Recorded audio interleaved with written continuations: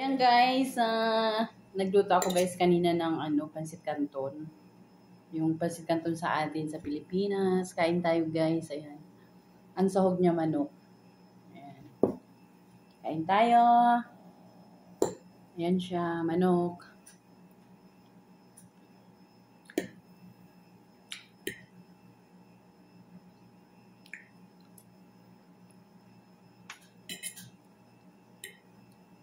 Harap guys.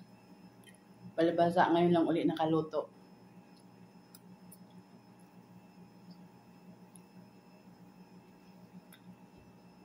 Pansit Mickey.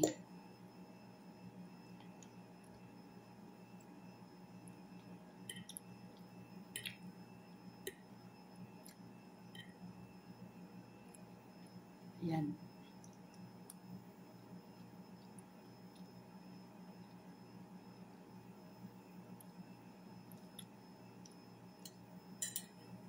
Parang maga yung mata ko kasi puyat lagi. Tuwing ang tulog namin guys, ano, um, alas 4 na ng madaling araw dito. Tapos, igising ka ng alas 12 ng tanghali. Tapos, mag-start ka na naman sa kusina ng alas 2. Ah,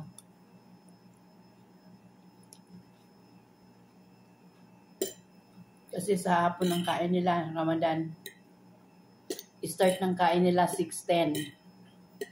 Kakain na sila noon. Tapos susundan ng alas 3 ng madaling araw.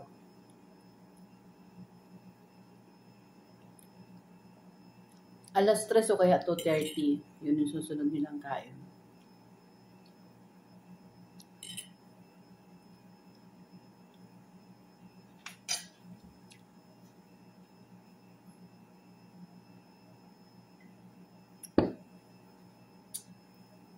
Sarap ng pagkaluto ko ah.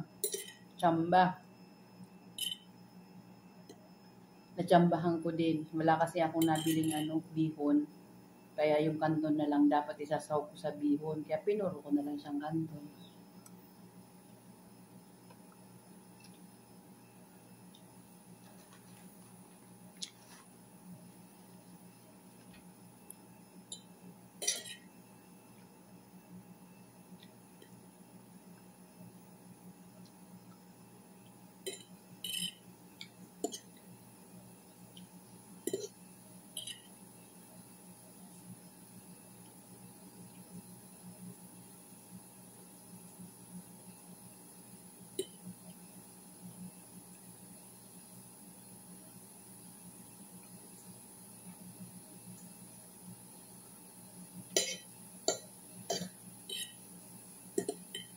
Siyang plato mauubos na. Platong maliit lang naman. Hindi malaki guys.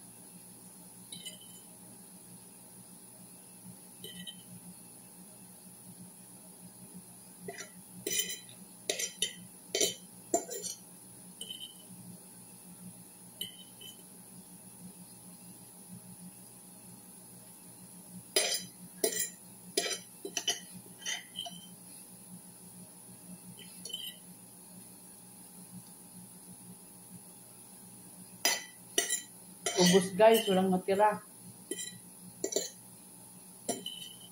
Pero meron pa ako kasi inati ko lang. Bali yung niluto ko, ano eh, kalahating kilo. Pang ano pa yon dalawang kain pa yon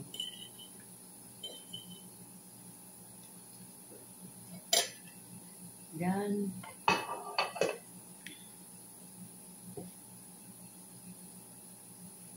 Tapos na guys. Bye-bye. Nakakain na, busog na. May resistensya na naman para magluto ulit ng panibagong luto, guys. Ayan, bye-bye and God bless guys sa lahat.